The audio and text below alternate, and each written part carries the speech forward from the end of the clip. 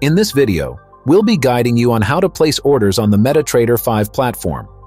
Before placing any orders, it's important to determine your trade size to avoid over-leveraging your trading funds. You'll need to set an appropriate trade size for your account. To do this, go to Tools, select Options, then the Trade tab. Under Volume, you can set your default lot size.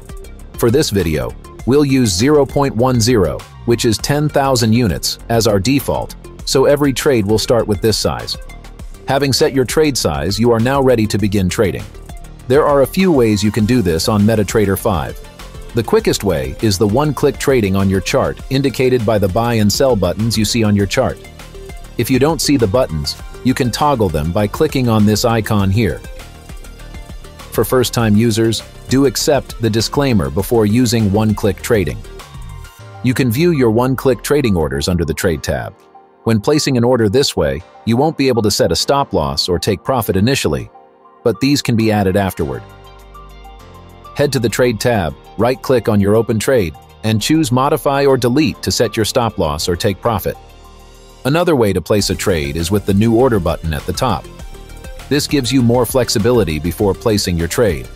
You can select different symbols from the ones you have on your charts, and instead of just market execution, you have the option to choose from a variety of pending orders. The pending orders that come with MetaTrader 5 are buy limit, sell limit, buy stop, sell stop, buy stop limit, and sell stop limit.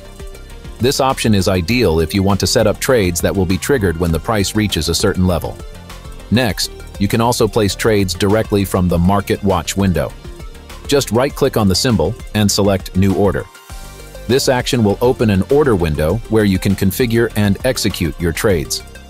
To view your active trades, go to the Trade tab in the toolbox. You'll see details like the instrument, trade type, volume, and current profit or loss. When you're ready to close a trade, right-click on it and select Close Position or simply click the X next to the trade to close it instantly. To view all your completed trades, you can check out the History tab in the Toolbox window. This gives you an overview of all your previous trades. You can also customize the view by right-clicking within the History tab to filter by specific time periods, instruments, or other criteria. If you need more detailed information or want to export your trade history, you can right-click and select Report to save the data to a spreadsheet.